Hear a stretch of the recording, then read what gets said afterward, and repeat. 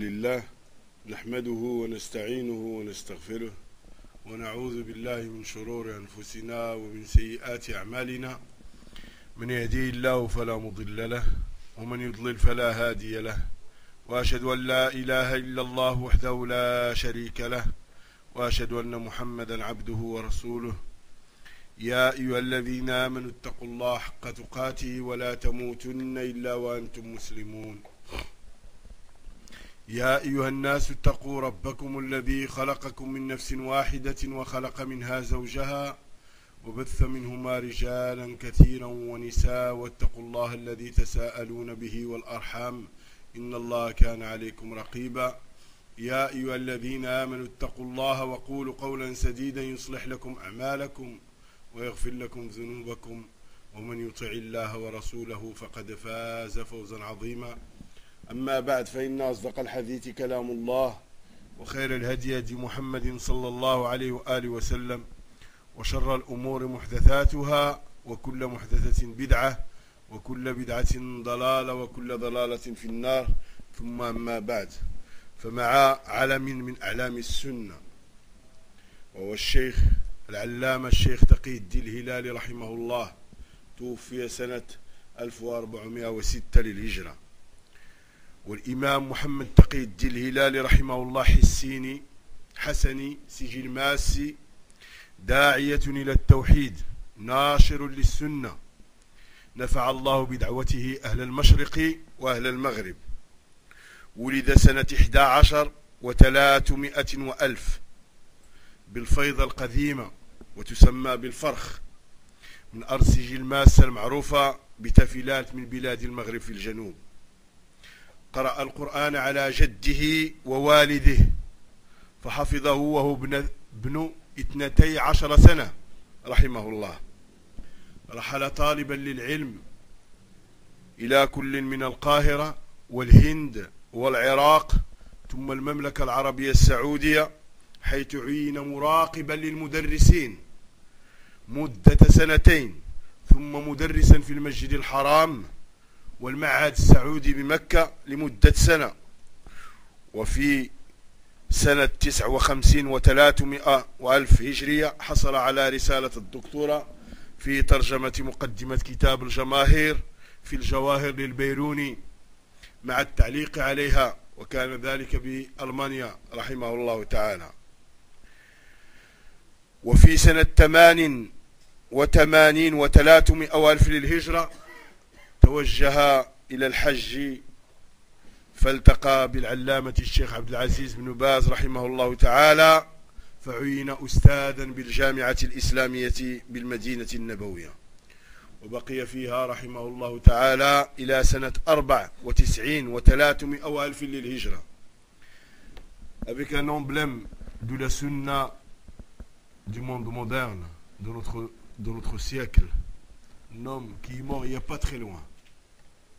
Taqid alayh, parmi les hommes de science d'Afrique du Nord, il est mort en 1406 de l'Égypte. On est en 1429, donc il y a à peu près 23 ans seulement. Ce grand imam, Mohamed Taqid alayh, était hassanite, Sigilmassi, de la région de Sigilmassi dans le sud marocain. C'était un grand prêcheur du monothéisme et un grand homme qui a propagé la sunna. Allah subhanahu wa ta'ala par sa da'wa, sa da'wa a été bénéfique aux gens de, l'Est et aux gens de l'Ouest. Il est né en 1311 de l'Égypte, Al-Farh, une région de Sigil Massa qui est connu aujourd'hui sous le terme du Tafilalt. Le Tafilalt, c'est le berceau de la dynastie qui règne actuellement sur le Maroc. Il a mémorisé le Coran, il l'a lu sur son grand-père, puis son père, il a, mémorisé le Coran à l'âge de 12 ans.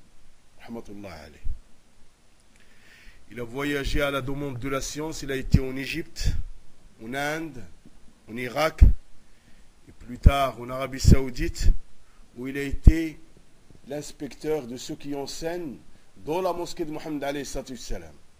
Il a enseigné aussi dans le Haram al-Mekki et dans l'institut de, de Mecca aussi. Il a sa risala de doctorat, il l'a eu en Allemagne. Il a authentifié Kitab al-Jamahir l'Il-Beyrouni, dans lequel il a répliqué aux orientalistes d'une grande réplique, tellement la réplique était forte que les Allemands étaient ébahis devant cet homme. Ils le respectaient. Et il a commenté cette euh, Jawahir Dil Beyrouni, rahmatullah ala Sheikh Taqin ou ala Immat al-Muslimin,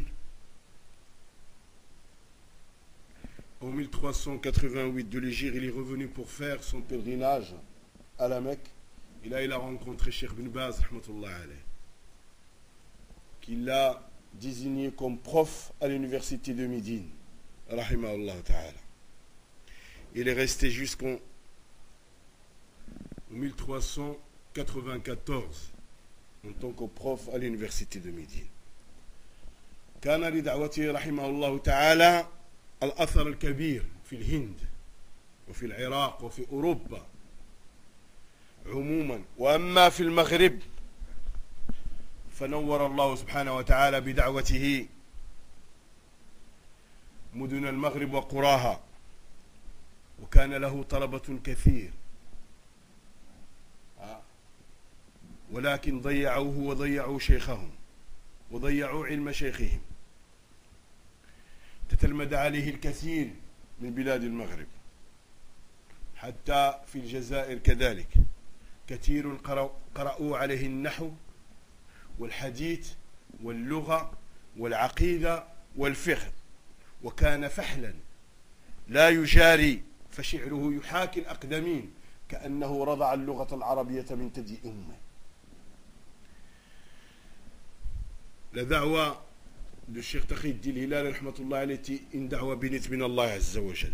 دون بوكو دو بي وناند ونيراك ونوريون ونوروب لغستي بوكو داني pas très loin de vous, à, en Belgique, notamment dans la ville de Courtrai et dans la ville de Moucron.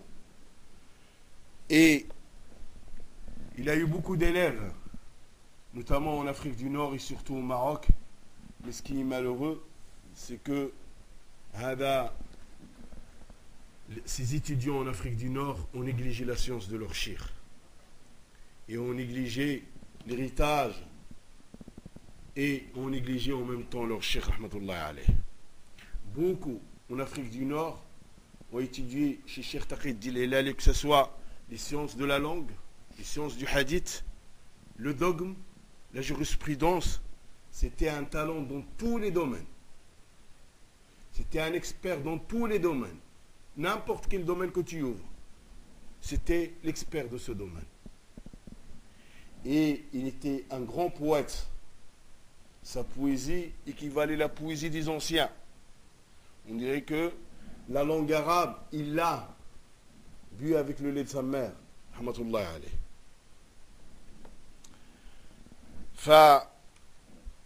قال عنه أئمة الدين في هذا الزمان هذا العلام الألباني رحمة الله عليه يعد الهلالي ضمن خمسة لم ير مثلهم البتة لا في العلم والتحقيق.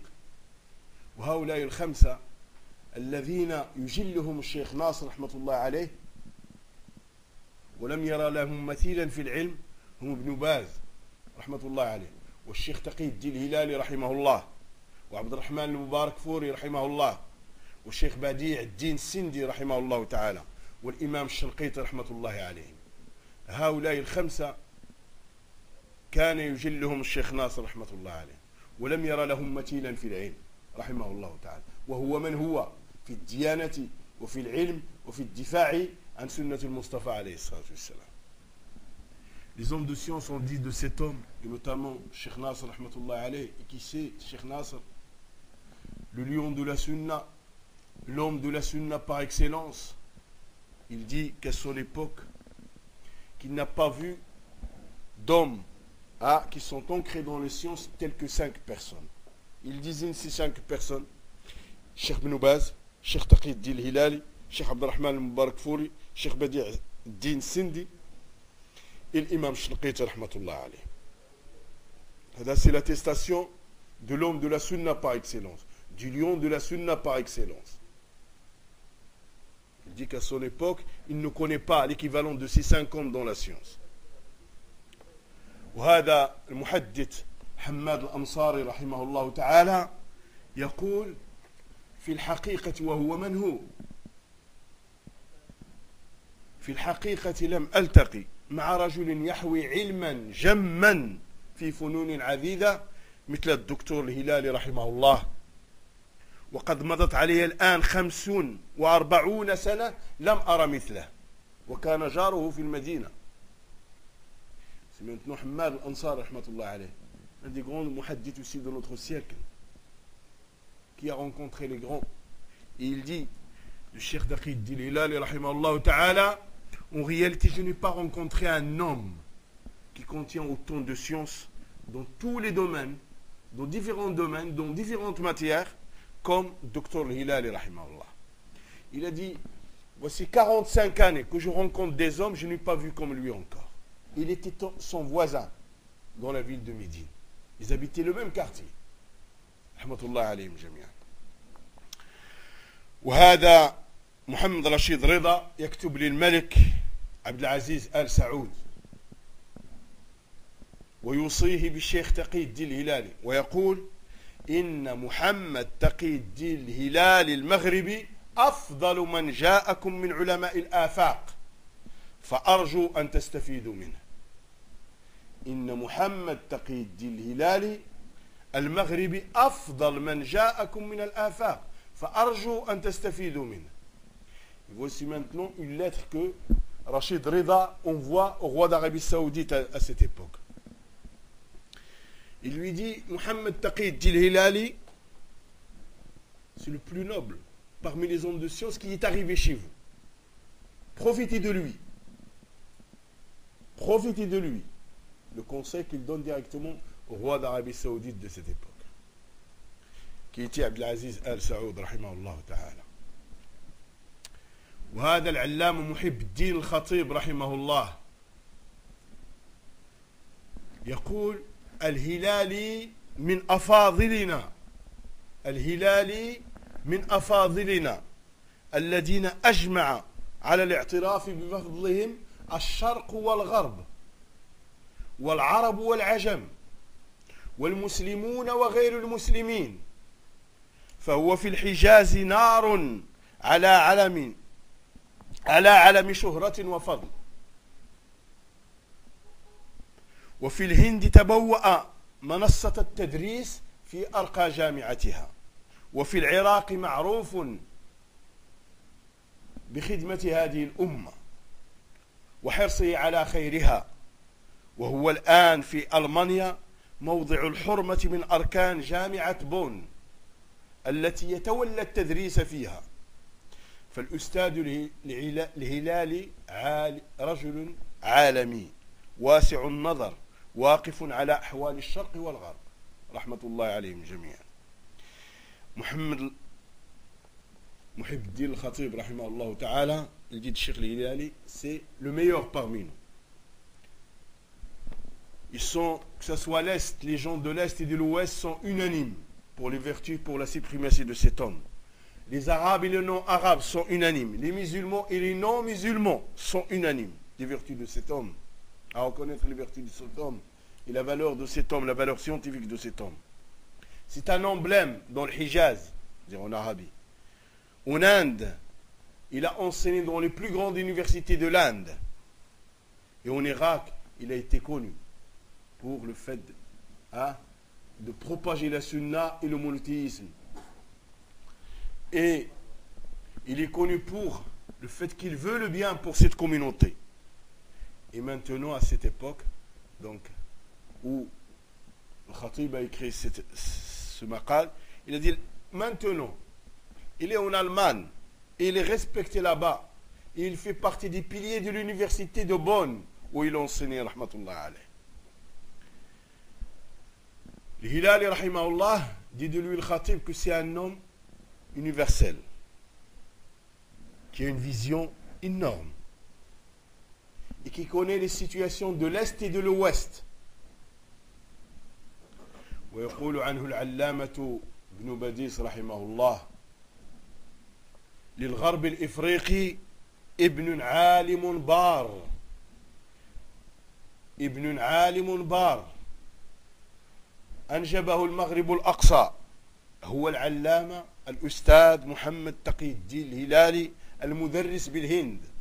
عندما كتب ابن باز رحمه الله هذا هذا المقال كان في ذلك الوقت شيخ تقي الدين الهلالي يدرس في الهند. لهذا الأستاذ شهرة علمية إصلاحية عظيمة بالشرق ومقالات رنانة في صحفه. Ibn Badis, ta'ala, qui est un grand homme de science, un grand réformateur en Algérie, et qui a, a éduqué les Algériens sur le monothéisme, sur le fait de revenir à la voie des alayhim, dit que pour l'Occident africain, l'Ouest africain, l'Ouest africain a un grand fils, un grand fils savant, dévoué, en parlant de Cheikh Taqi Hilal, alayh, il dit ce savant est né à Maghrib al-Aqsa, le Maroc lointain, c'est-à-dire au Maroc. C'est l'éminence, le professeur Mohamed Taqi Hilali, qui à l'époque où, où faisait ses éloges, écrivait ses, mots, il était à l'époque professeur en Inde. Ta'ala. Il, est professeur en Inde actuellement. Et ce professeur a une renommée internationale, scientifique et internationale, est un réformateur, un grand réformateur. Et ses exposés et ses écrits sont très forts.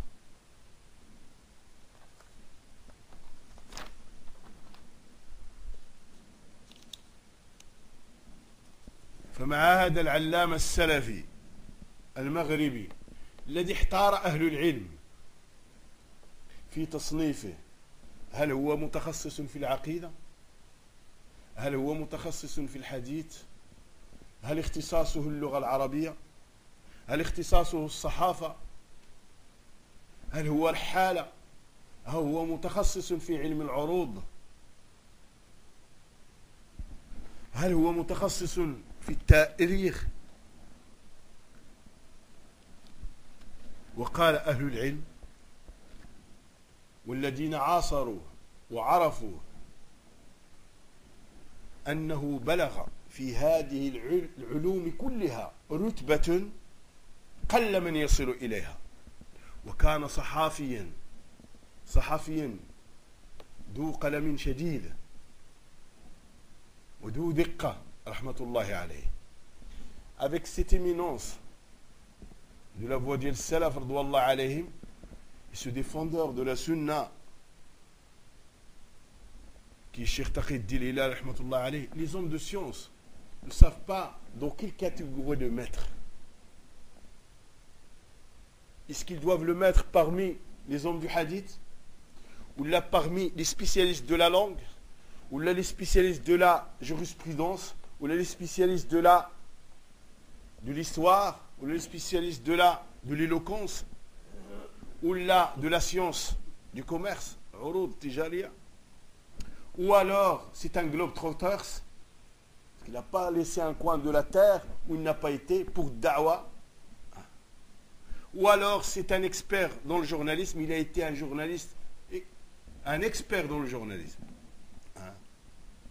et les hommes de science qui l'ont connu disent dans toutes ces branches, il est arrivé à un degré où peu de gens peuvent arriver. Dans toutes ces branches. Et dans toutes ces spécialités, il est arrivé à un haut degré. فرحمه الله ورث العلم في بيئة علمية من أب وأم وجد وجدة وطاف وأفاد واستفاد من جل علماء البلاد رحمه الله تعالى رحمة الله عليه c'est emblème de la sunna hein, ici grand imam, a hérité la science dans un milieu scientifique, dans un milieu familial qui est baigné dans la science, que ce soit du côté de son père, du côté de sa mère, de ses grands-parents, etc. il a erré à la demande de la science et à propager, à apprendre et à propager. عاش رحمه الله تعالى طفولته في المغرب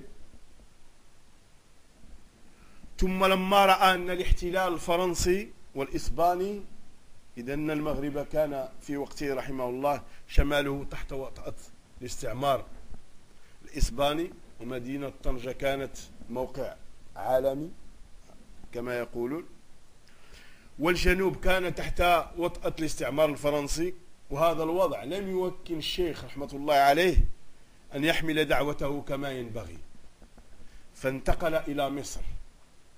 والتقى هناك بكبار علمائها ورحل في أرجاء مصر ناشرا للعقيدة الصحيحة وذكر قصصا عجيبة عن هذه الرحلات في كتابه الدعوة إلى الله في أقطار مختلفة. Allah subhanahu wa ta'ala le comble, le comble de sa sainte miséricorde, son enfance, il l'a vécu au Maroc, de la science. Et il a appris la science beaucoup. Il est allé à Fès, il a rencontré les grands savants de l'université Al-Qarawin de cette époque, etc. Il a été en Algérie et autres. Et quand il a vu que la colonisation française, qui occupait presque tout le centre marocain, et la colonisation espagnole qui était sur le Sahara, hein, et la colonisation espagnole aussi était dans une grande partie du nord du Maroc, et Tanger était une zone internationale. Il a vu que le colonisateur ne laissait pas, ne pouvait pas faire la da'wa ila Allah donc il a quitté le Maroc. Il est parti directement en Égypte, Il a rencontré les grands hommes de science de cette époque en Égypte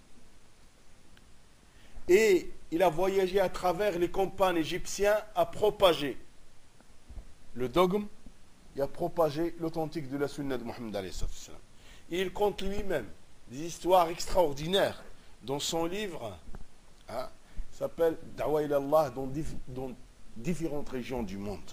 رحمه الله تعالى وتحول بعد ذلك من مصر إلى السعودية وفي السعودية التقى بأكابرها بكبرائها وعلمائها فأفادهم واستفاد منهم. فكان الشيخ محمد بن إبراهيم رحمة الله عليه وهو من هو؟ هو شيخ الإمام الألباني رحمة الله عليه.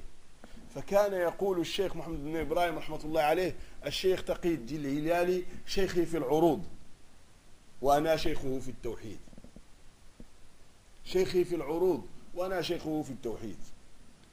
Et après l'Égypte, il est venu en Arabie Saoudite. En Arabie Saoudite, il a, rencontré les grands hommes de science de cette époque. Il a rencontré Cheikh Mohamed Ibrahim, qui est une imminence dans la science, qui est le Cheikh de Ibn Baz, Et Cheikh Mohamed Ibrahim, disait de Cheikh Taqid Dililali, c'est mon prof au niveau des sciences qui concernent le commerce. Et moi, je suis son prof dans le monothéisme. Rahmatullah alayhim.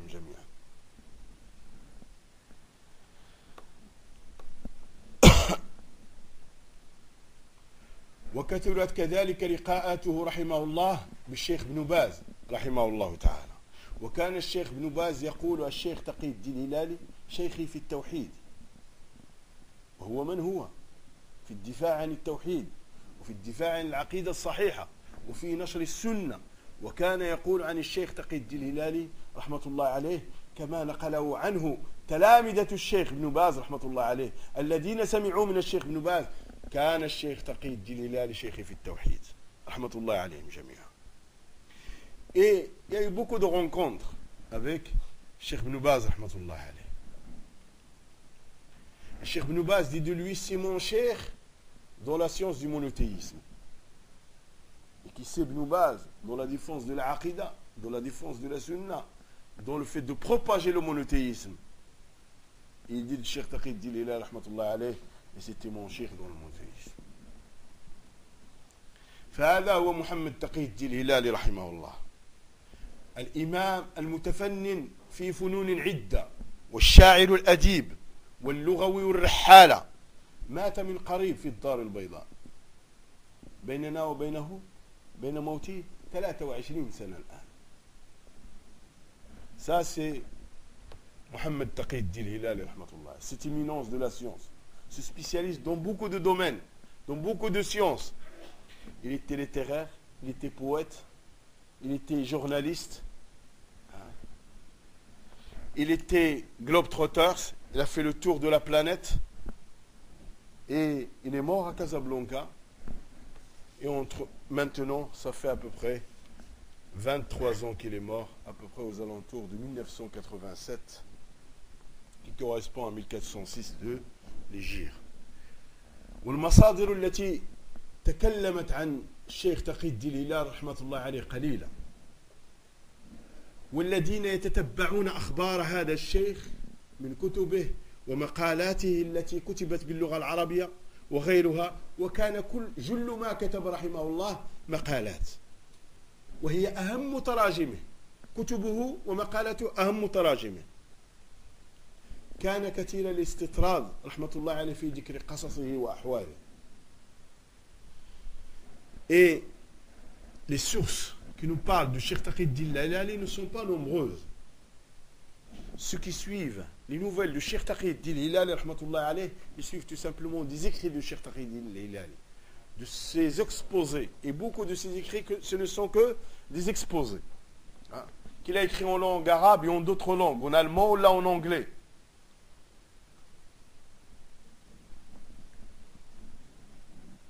Et dans ces livres, on, retrouve une partie de sa biographie parce qu'il parle, il raconte ce qui lui est arrivé sur le champ de la da'wah dans beaucoup de livres.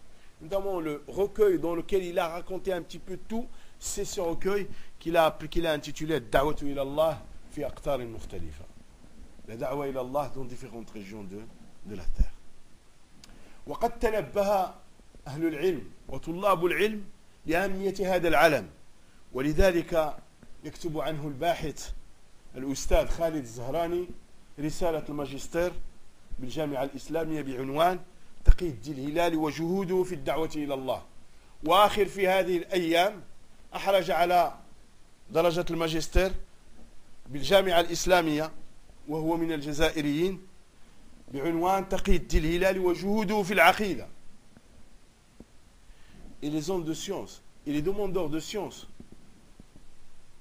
Leur attention a été attirée par cet emblème de la science qui est Cheikh Taqiddin rahmatullah Khalid Zahrani, qui est un grand rechercheur, est en train de préparer un magistère qui concerne à l'université islamique dont le titre est ceci Taqiddin Hilali et ses efforts dans Da'wa Allah.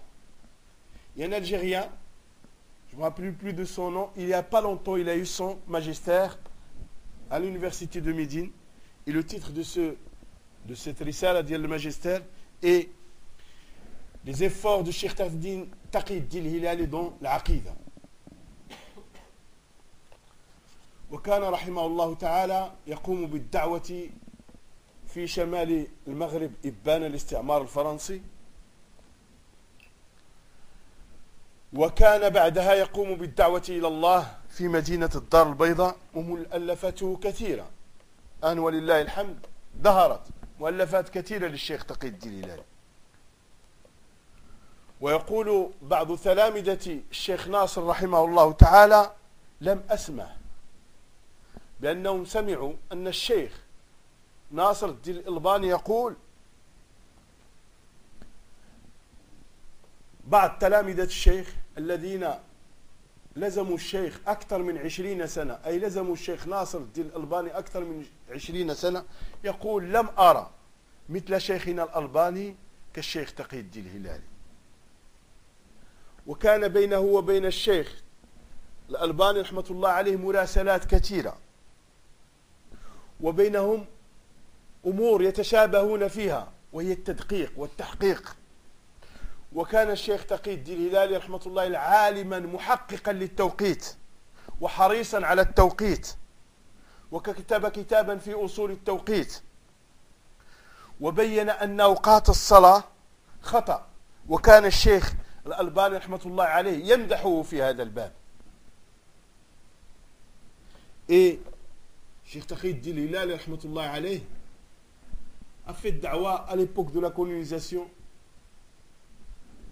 au nord du Maroc, notamment dans la région de Tanger, de Shaoun et autres, et dans la région de Nador et autres.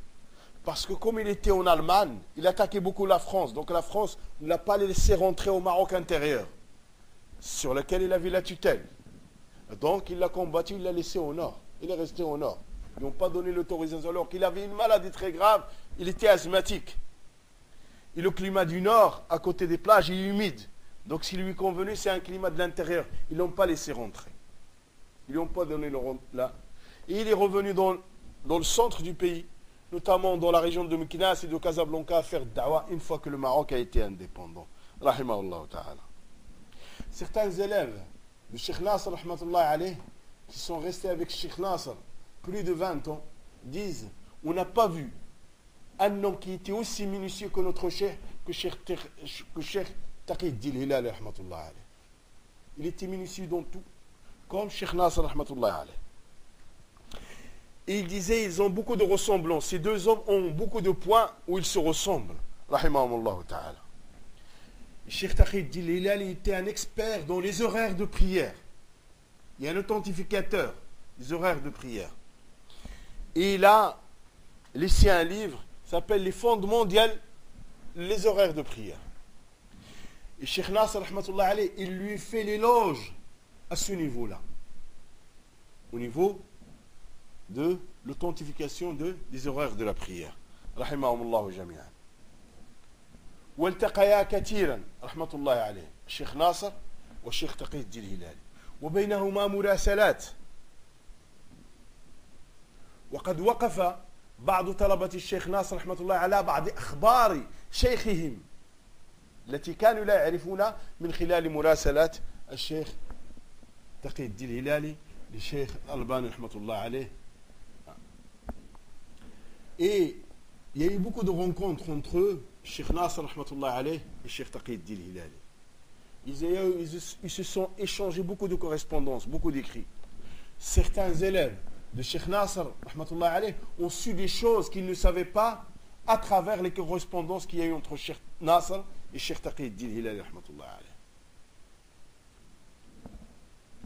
ومن العجيب أنك كيفما نظرت إلى هذا العلم وكيفما قومت عجبت فالمصحف الذي يعتمده المسلمون اليوم والذي نشر منه مئات الملايين باللغة الإنجليزية هو من ترجمته رحمه الله. فالمجمع للمصحف الشريف بالمدينة يطبعون ترجمته وكان رحمه الله اسمع يا عبد الله يا من لا تجد الوقت للغة العربية يا من تقول بأن اللغة العربية صعبة عليك. ولا تعطيها من وقتك. اسمع كان رحمه الله يتقن اللغة الألمانية والإسبانية إتقان والإنجليزية والعبرانية والبربرية ثم أصبح ضريرا وأصبح يتقن لغة البراي. رحمه الله تعالى. همة عالية. Et n'importe quel aspect que tu vois, c'est de voir dans la vie de cet homme, tu es étonné. Ton étonnement n'arrête pas, ne s'arrête pas. On disait que le Mus'haf, qui a été édité par des millions en langue anglaise, c'est une traduction du Cheikh Taqid Dililal. Ce Mus'haf qui dit hein, le Mujamma à c'est une traduction. En anglais, c'est une traduction de Cheikh Taqid. Il perfectionnait, écoute. On n'arrive pas à donner du temps à la langue arabe et à l'apprendre ici difficile, etc. On n'arrive pas à prendre de notre temps pour prendre, apprendre la langue arabe. Écoute. Il perfectionnait la langue allemande, l'espagnol, l'anglais, l'hébreu, le berbère et quand il est devenu aveugle à la fin de sa vie, il était expert dans la langue du braille, hein, dans la langue des aveugles. Hein. ولذلك استحق المدح من علماء عصره رحمه الله تعالى pour ça qu'il a eu tant d'éloges des savants qui l'ont côtoyé, de ses contemporains, rahmatullah alayhi. فاسمع لما دونه الأستاذ عبد الأول ابن الشيخ محمد حماد الأنصاري رحمه الله. فعبد الأول ابن الشيخ حماد الأنصاري رحمه الله ألف في ترجمة أبيه مجلدين. جمع فيهما ما استفاده من أبيه وأقوال أبيه التي أخبره بها أبيه وما استفاده من أبيه وفي مجالس أبيه. فهذه أخبار الشيخ تقي الدين الهلالي على لسان الشيخ حماد الأنصاري رحمة الله عليه. والشيخ حماد الأنصاري كما مر معنا من كبار محدثي هذا العصر. دونك كنت ما نتنو كري عبد الأول افونسي ان تي بو بارك الله فيكم فوق فالي سي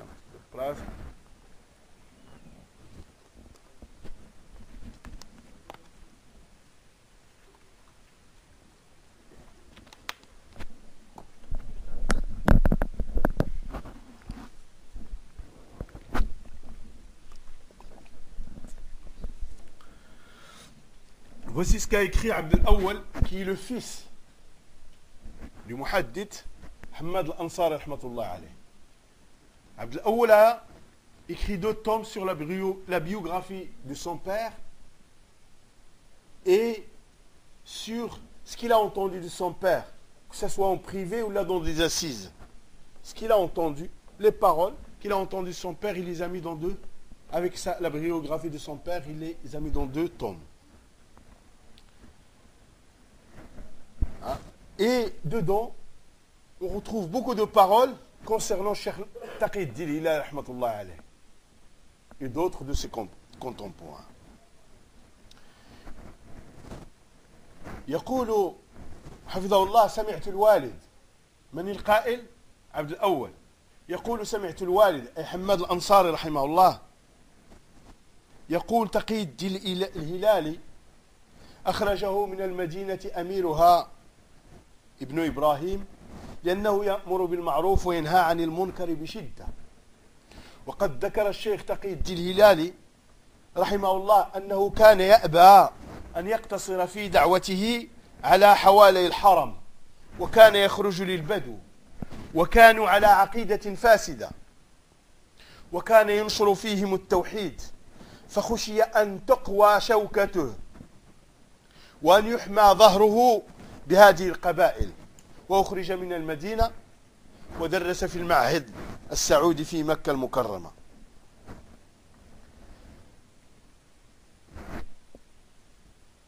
Abdel dit J'ai entendu mon père dire que Cheikh Taqid Hilali a été expulsé de Médine par son émir, Ibn Ibrahim, parce que il s'acharnait à ordonner le bien et à blâmer le mal. Et il ne s'arrêtait pas tout simplement aux alentours du haram, mais il allait voir les bédouins et les tribus bédouines à l'intérieur de la terre. Et les bédouins étaient sur un mauvais dogme. Donc, il leur enseignait le monothéisme, il les orientait vers la sunna, etc. Et on a eu peur qu'il ait de la force une assise avec ses tribus, hein, et il a été expulsé de Médine vers la Mecque. Et à la Mecque, on l'a accueilli, on lui a donné le poste de professeur à l'Institut saoudien de la Mecque. قال ثم عاش القائل من عبد الأول يحكي عن أبيه قال ثم عاش في العراق مدة بعد خروجه من المدينة ما il a dit hein, qu'il a vécu en, en Irak un grand moment après être sorti de Médine. وبقي يتردد على العراق 35 سنة وعنده أولاد هناك في العراق عنده أولاد في العراق فتزوج كثيرا رحمه الله تعالى يقول أحد المصريين في مذكراته لما زرت الزبير بالقرب من البصرة وجدت أثرا حميدا وتلاميذ للشيخ تقي الدين الهلالي رحمة الله عليه Et plus de 35 ans, Cheikh Taqi Hilali allait en Irak.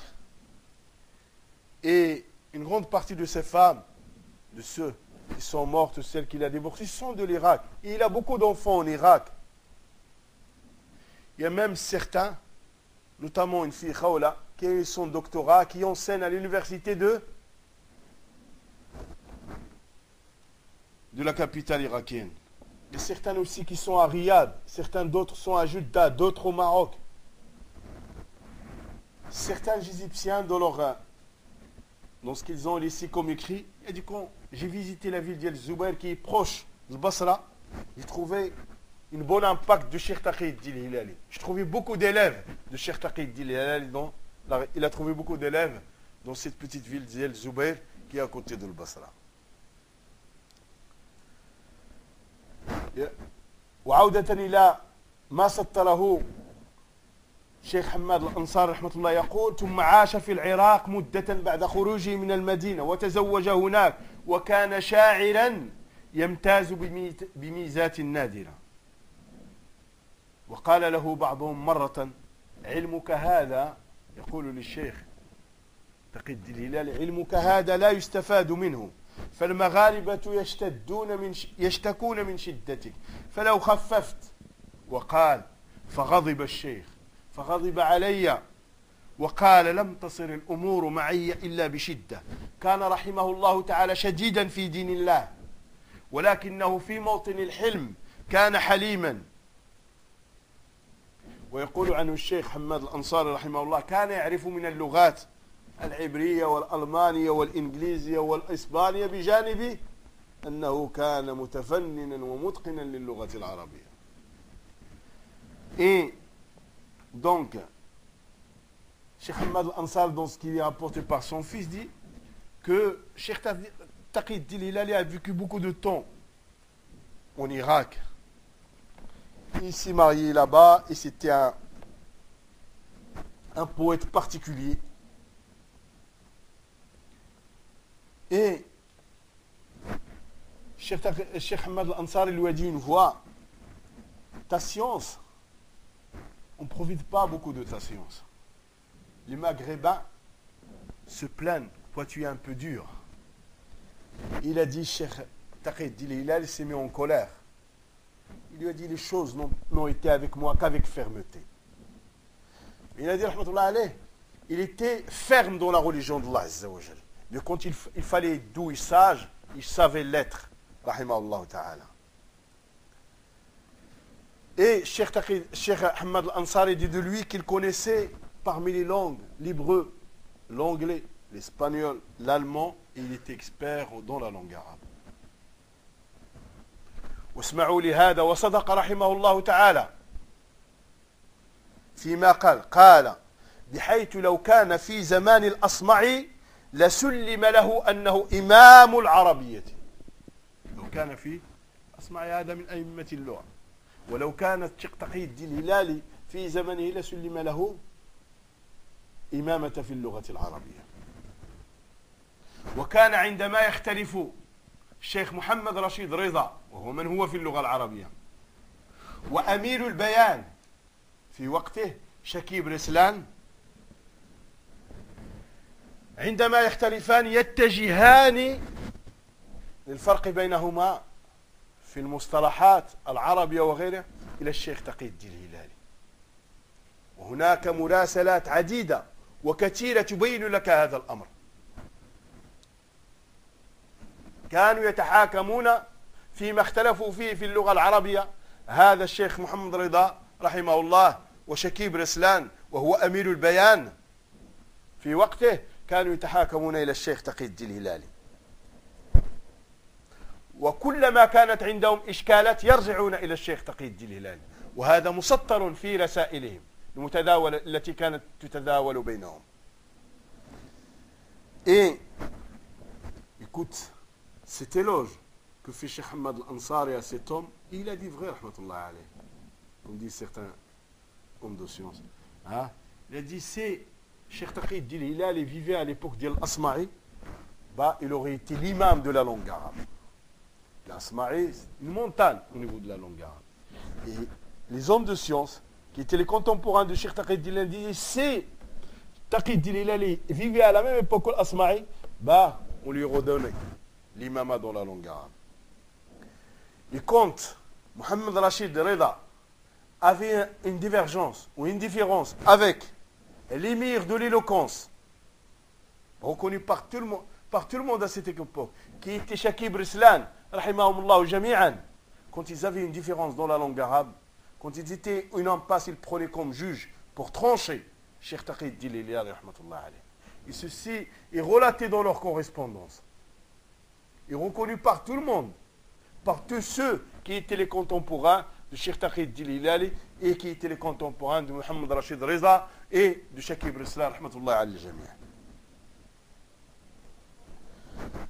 ويقول عبد الأول أي ابن الشيخ حماد رحمه الله تعالى وسمعت والدي يقول إن تقي الدين الهلالي كان جاري في حي المصانع في المدينة وقد سافر إلى دولة السويد وما ترك بلدا إلا ساح فيه سواء شرقا أو غربا. وقد وصل إلى الصين وشاهد في سياحتي هذه امورا عجيبة كان يحكيها لي رحمه الله تعالى. اي عبد الأول دودير دير كي لا اونتوندي سون بير حماد الانصار رحمه الله عليه ديكو شيخ تقي الدين الهلالي اي تي مون فوازان امي دين دون حي المصانع دون الكارتي دي زاتوليو Et il dit il a voyagé vers la Suède. Il n'a pas laissé un pays où il n'a pas été. Cheikh Taqid Dilila, rahmatullah alayhi. Que ce soit à l'est ou là à l'ouest. Il est arrivé en Chine. Et il a vu dans ses voyages des choses extraordinaires qu'il racontait à Cheikh Hamad al-Ansari, rahmatullah alayhi. وله مقالة الشمس في منتصف النهار وهي مطبوعة ذهب في رحلته إلى بلاد النرويج داعيا إلى الله. إلى رسالة le soleil en plein jour. Quand il est parti vers le Norvège. Comment vous dites Norvège? La Norvège. Parti là-bas pour prêcher. فاسمع الآن ماذا يقول تلميذه الذي كان معه في سيارته. في سيارة الشيخ تقي الدين اللالي رحلوا من المغرب إلى النرويج. وهذا التلميذ اسمه الحاج أحمد هارون وهو من مدينة تطوان. وكان رفيقه في هذه الرحلة. يقول, يقول رحمه الله لم يكن شيخنا ليضيع وقته. مهما كان كان يقرأ وكان قد مشى إلى النرويج بسيارته. يقول وكنت معه. يقول كان يقرأ ويكتب الأشعار وهو في السيارة. يقضي يومه من الصباح إلى المساء في علم وتعليم وتأليف كانت له رغبة قوية في الذهاب إلى المناطق التي لا تغرب عنها الشمس فقمت معه برحلة. قصدنا فيها شمال النرويج وبالضبط بلدة ناريك حيث تسود الظلمة لمدة ثلاثة أشهر. متتالية. يقول يتميز أستاذنا باتصاله بالشعب فأي شخص صغير أو كبير يستطيع أن يوقفه في الشارع. ويتحدث معه كما كان بيته مفتوحا دائما فتجد الأفواج تأتي إلى بيته إلى منزله ولا يمل من الترحاب والإكرام سواء عندما كان في المدينة وعندما كان يقتل المغرب رحمه الله تعالى écoutez maintenant l'un de ses élèves qui l'a accompagné lors de son voyage vers le Norvège. Ils sont partis avec la voiture d'El Sheikh du Maroc. Et cet élève, il est de la ville de Tétouan. Il s'appelle Ahmed Haroun, ta'ala. Il était le compagnon du cheikh dans ce voyage. Il dit, notre cheikh ne perdait pas son temps. Dans la voiture, hein, il a dit quand on est parti dans ce voyage, il perdait. Il lisait, ou là il écrivait de la poésie, ou là il enseignait. Il a dit, toute sa journée, il la passe dans l'apprentissage, l'écriture ou l'enseignement. Et il disait il avait une grande envie d'aller vers les pays où le soleil ne se couche pas une longue période. Hein. Il a dit j'étais avec lui, je l'ai accompagné durant ce voyage. On est arrivé vers, on est allé jusqu'au nord de la Norvège, vers une ville qui s'appelle Narik, où le soleil reste, où la, nuit reste plus de trois mois. il a dit, notre professeur, nous parlons de Cheikh Taqid il avait cette particularité, c'est que il était au contact de tout le monde. Le grand, le petit, tout le monde peut lui, lui parler. Il parlait à tout le monde. Et tout un chacun, s'il l'arrêtait dans la rue, il s'arrêtait, il discutait avec. Hein? Et sa maison était ouverte, porte ouverte. Que ce soit quand il était à Médine ou là au Maroc, sa maison était ouverte. Et des vagues de personnes venaient chez lui. Et il ne se lassait jamais à les honorer à les accueillir. Rahimahullah ta'ala. ويقول عنه تلميذه هذا وكان يقوم بنفسه قبيل صلاة الصبح ليسخن لنا الماء لنتوضأ به وكان حافظا لكتاب الله متقنا لقراءاته يحفظ كتاب الله بكل قراءاته الصحيحة القراءات الصحيحة والقراءات الشاذة يعلمها كلها رحمة الله عليه ما صح من القراءات وما شذ منها Et il disait, durant ce voyage, Cheikh lui-même qui se réveillait avant Salat al-Fajr. Ou là, quand il y avait du monde aussi chez lui, hein, c'est lui qui se réveillait pour leur chauffer l'eau pour l'eau d'eau. Et il était un grand mémorisateur du Coran. Il le perfectionnait à la perfection. Hein. Il connaissait toutes les versions de la lecture du Coran.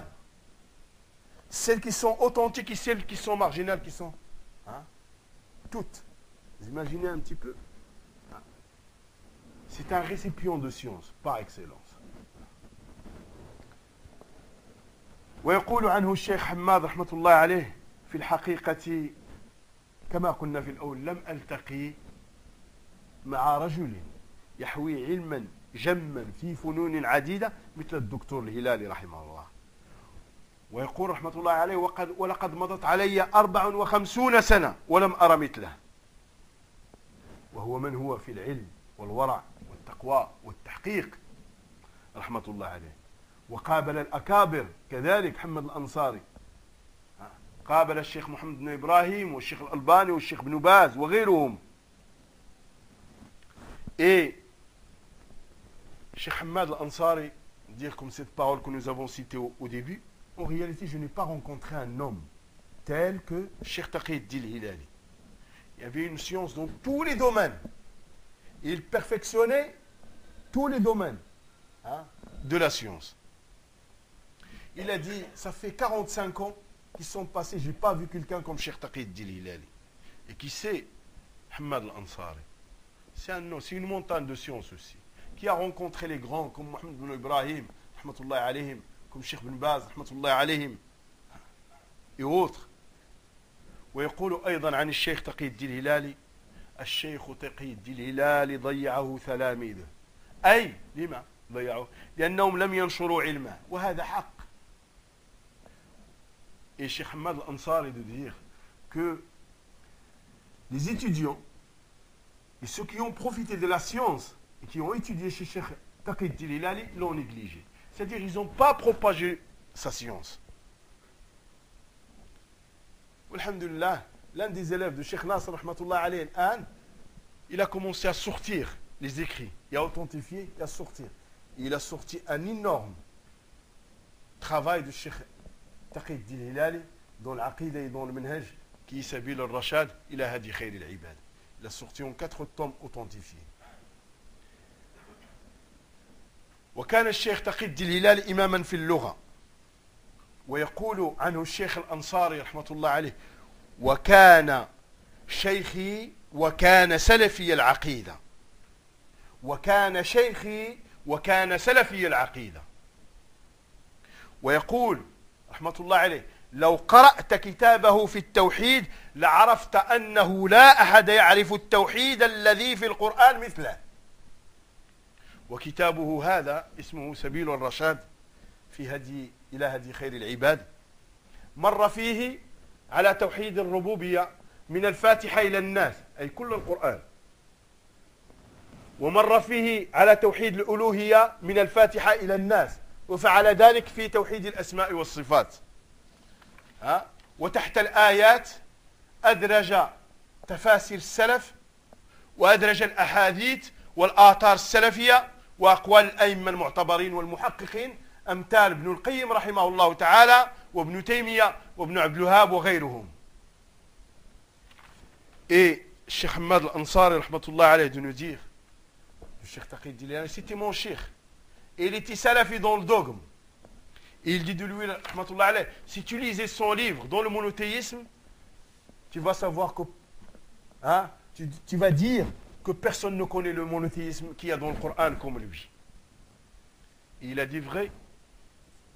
Ceux qui ont lu ce livre, parmi les hommes de science, disent que Cheikh Taqi Dil Hilali, dans son livre Sabil al-Rashad, il a dit al-Ibad,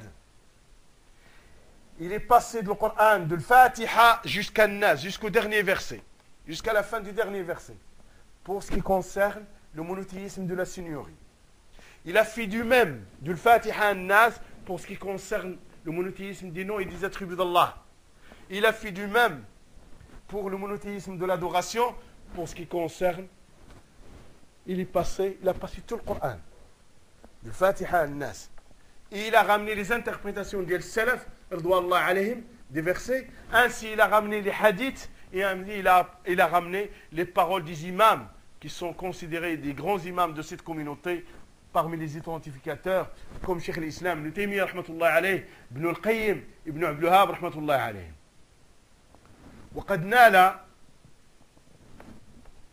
شهادة الدكتوراه في ألمانيا رحمه الله بين سنة 46 و 51 للميلاد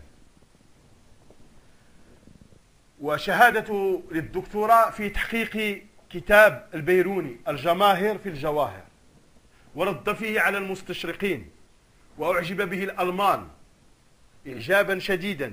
وفي تلك الفترة أنشأت ألمانيا إذاعة لمحاربة فرنسا وإسبانيا فكان هو المسؤول عن القسم العربي في مهاجمة فرنسا وإسبانيا من ألمانيا. وهذا الذي جعل الإفرنج لا يتركونه يدخلونه إلى يدخل إلى وسط المغرب عندما كانوا محتلين وسط المغرب. Et il a eu son doctorat, comme nous l'avons vu au départ, en Allemagne. Il a eu entre la période, la période 1946 à 1951. Son doctorat, c'était dans l'authentification du livre de Al-Bayrouni, Jama'af al Dans ce livre, il a répliqué, dans la muqaddimah de ce livre, il a répliqué aux orientalistes. Et les Allemands ont été ébahis devant cet homme et devant la science de cet homme. Et à cette époque, on a créé la radio allemand, allemande hein, pour combattre et pour attaquer les Français et les Espagnols. Et Cheikh Taqid Dililali était le responsable de la section arabe à combattre et à attaquer les Français et les Espagnols. C'est ce qui a fait par la suite que les Français ont refusé de le laisser rentrer dans le Maroc intérieur. C'est ça qu'il est resté cantonné dans la zone internationale de Tanger. Il allait un peu à Chaoun, un peu à Vernador, etc. Et il a souffert hein, beaucoup par l'humilité. وكما مر معنا حفظ كأئمة الدين القرآن وهو عمره 12 سنة. كوم إلي باسي أفيك نو؟ كوم آه؟ كوم بوكو دوم دو سيونس. إلى ميموريزي القرآن أن أج تخي با. أن أج دو 12 أون إلى في القرآن.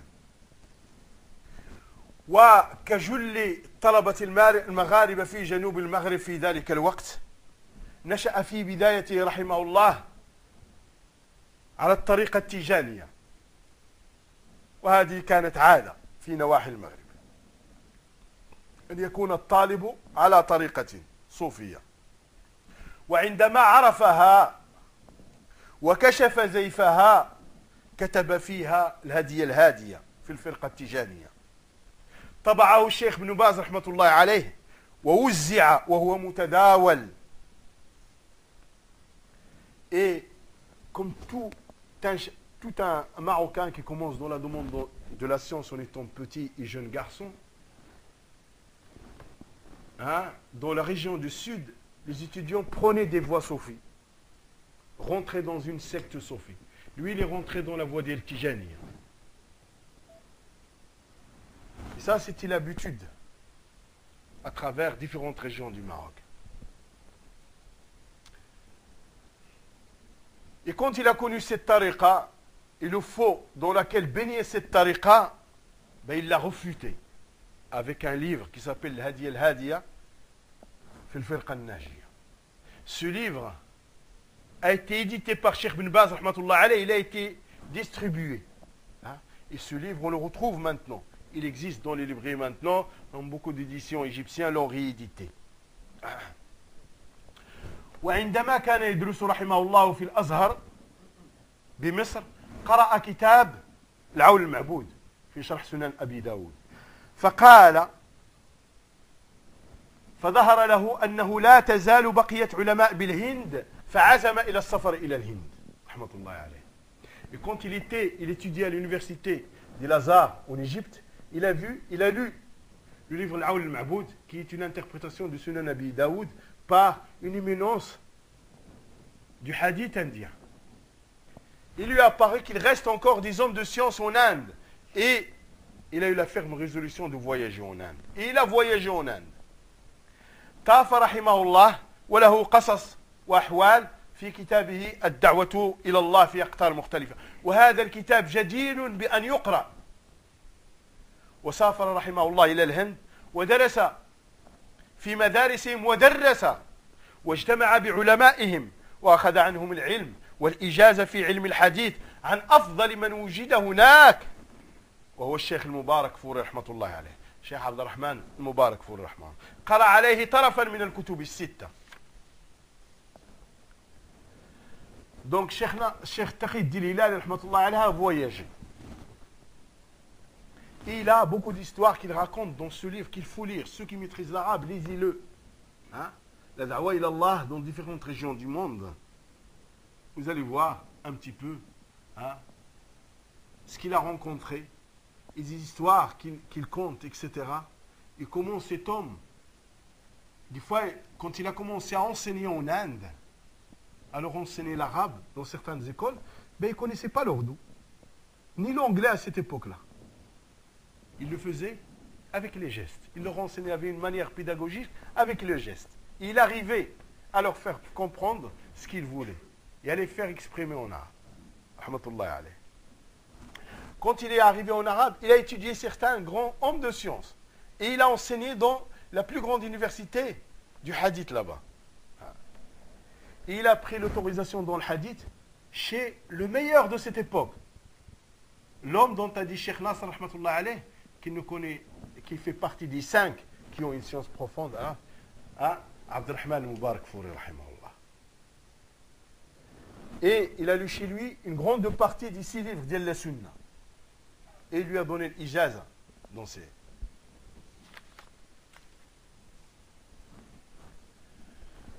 Et quand il est revenu en Arabie Saoudite, il a été désigné pour être l'imam du haram, le Médine. Mais il a dit au responsable, à l'émir, il a dit à une condition. Subhana Rabbi al-Azim dix fois dans le recours. Et Subhana Rabbi al-A'la dix fois dans ce jeu. Et il lui a dit non, c'est trop long pour les gens. Il a refusé le poste. Ils lui ont donné l'inspecteur des enseignants du haram. كانت قرة عينه في الصلاة رحمه الله تعالى ويدلك على هذا كتابه في صفة الصلاة الصراط المستقيم. رسالة صغيرة في صفة الصلاة. من التكبير إلى التحريم. رحمة الله عليه. مرت علينا مدة في مدينة مكرو. كان الشيوخ هنا تعلموا عليه صفة الصلاة. وعندما دخلنا ذلك المسجد كإمام في ذلك المسجد كان من الأمور العجيبة التي كنت أراها في الشيوخ. أن تدخل المسجد تقول السلام عليكم فترى الشيخ يرفع يديه يرد عليك السلام. وتراهم يحيون سننا ما يعرفها كثير من الناس. رفع اليدين للسجود. رفع اليدين في الرفع من السجود. آه جلسة الاستراحة وأمور وإلصاق الكعب بالكعب. فسألت مرة أحد الشيوخ قال لي نحن بقى معنا في مدينة كورتري. الشيخ تقي الدين الهلالي ستة أشهر يعلمنا صفة الصلاة. وكان ضريرا. وكان أحد تلاميذه يقرأ عليه. التفسير كان كان يفتح لهم في التفسير وكان كذلك يعلمهم صفة الصلاة رحمة الله عليه. فأثره حي حتى في العوام. وكانت مواقفه كانت له مواقف حازمة. فكان مما مرة أتى الشيخ أبو بكر الجزائري إلى مدينة بروكسل وكان هو سافر إلى مدينة بروكسل مع مجموعة من أهل هذه القرية. قرية موكرون هذه التي توجد في الحدود بين فرنسا و وبلجيكا قرب روبي وليل. فقال له العوام والشيوخ الذين كانوا معه في في السفر. يا شيخ نذهب إلى زيارة الشيخ أبو بكر الجزائري. قال والله لن أذهب إليه حتى يتراجع عن فتواه وتعاطفه مع جماعة التبليغ. كانوا يقبلوا يقول للشيخ والله كنا نقبل رأسه ونقول يا شيخ هو شيخ وأتى من بعيد وكذا. والله حتى يتراجع عن ها عن فتواه لجماعة التبليغ رحمه الله تعالى. Et donc, rahmatullah alayh, son impact est encore vivant, même ici en Europe. Rahmatullah alayh. Vous voyez, quand il a dit Subhana Rabbi al-Ala, dans ce jeu, des fois, Subhana Rabbi al-Azim, dans le recours, des fois, dire que la, la, prière était très importante pour lui. Il a un fascicule. Hein, dans la description de la prière du prophète Et j'ai vu l'impact de son enseignement chez des vieux Marocains, dans une ville qui est à la frontière entre Roubaix et à la frontière belge, Roubaix et Lille, et c'était, il s'appelle Moucron. Et à l'époque, ils n'avaient pas de mosquée à Moucron, ils avaient dans une autre petite ville qui s'appelle Courtrai. En rentrant chez ces gens-là, pour être leur imam, et je vois des personnes âgées qui faisaient des gestes que certains de, nos frères à Marrakech faisaient dans les années 70, à la fin des années 70, on leur dit si vous voulez jouer au karaté, le cinéma mauritanien, il est là-bas. L'affiche de Bruxelles, elle est de l'autre côté. Ainsi, on leur répondait. Ils élevaient leurs mains pour, pour aller à sujoud, pour se relever de sujoud, etc. Et ils saluaient dans la prière. Et sort, va, si tu veux jouer au karaté, dehors. Et je rentre dans cette mosquée, je dis salam alaikum, un vieux, la barbe toute grise, qui dépasse les 70 ans, il lève sa main. Je dis, subhanallah, c'est pas possible, je rêve. Hein? Je regarde dans la prière, j'ai cette stilaha. Lever la main pour aller vers ce jude. De temps en temps, ils se mettaient sur leur talent aussi, à faire vivre toutes les sunnas qu'on devait faire de temps en temps, des fois dans la prière. Ils les faisaient, je les voyais dans ses vieux c'est pas possible, il y a quelque chose qui ne va pas. Cette façon de faire, les jeunes se faisaient engueuler à Marrakech. Et là, il y a, un soir, on était dans un dîner chez quelqu'un, et je prends ce vieux que j'ai vu la première fois. Je dis, j'ai vu que tu fais dans la prière quelque chose. Normalement, hein, tu viens de Maroc, tu un vieux marocain, en général, vous êtes sectaire un petit peu pour le Maliki, donc tout ça, niente, walou. Comment ça se fait? Il a dit ça, Hassan que nous avons vécu six mois avec Cheikh Taqid Il est dans la ville de Courtrai. Il nous a appris la prière du prophète de A à Z, par les gestes. Hein? Son impact, il est encore là. Hein? Il est encore là et un petit peu partout. Et parmi ses positions fermes, une fois ces, vieux de Moucron sont partis avec lui à la ville de Bruxelles. Il se trouve qu'à ce moment-là, il y avait Cheikh Abou Bakr al-Jazairi qui était là ils lui ont demandé d'aller le voir, de le visiter. Il a dit par Allah, j'irai pas gérez pas jusqu'à ce qu'il revienne sur la fatwa qu'il donne à Jama'at Tiblir. Jusqu'à ce qu'il revienne sur les éloges qu'il fait de Jama'at Tiblir. Vu il me dit, on lui embrasse la tête, on lui demande, on le supplie. Pour y aller, il a dit, niente, j'irai pas. Rahmatullah alayh. كذلك عندما كان في الهند رحل إلى أفغانستان رحمه الله تعالى فرأى الخرافات وكان في الهند أستاذا وتعلم هناك الإنجليزية. ففي بداية تعلمه اللغة الإنجليزية بدأ يتعلمها مع تلاميذه الهنود. فرأى أن الهنود لا يحسنون النطق باللغة الإنجليزية.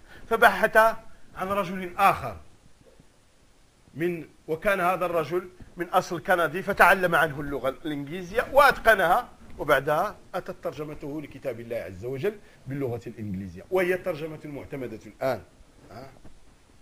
Et quand il était en Inde, il a voyagé aussi vers l'Afghanistan. Et il a vu l'associationnisme qui est là-bas et les histoires à dormir debout aussi, etc. Et quand il était en Inde, ben, il enseignait et aussi lui, il, il prenait des cours. Il enseignait l'arabe. Il a vu que pour arriver à atteindre un peu plus fort, apprendre sa langue, et il a vu que la meilleure des langues, qui, un petit peu, qui gère un petit peu tout, là où il était, l'Inde, le Pakistan, etc., c'était là, la langue anglaise. Il voulait l'apprendre. Il a commencé à l'apprendre par, par les hindous, par ses élèves hindous, mais il a vu qu'ils avaient un accent qu'il ne perfectionnait pas. Donc il a cherché quelqu'un d'autre. Il est tombé sur un missionnaire canadien et il a pris de lui la langue hein, anglaise.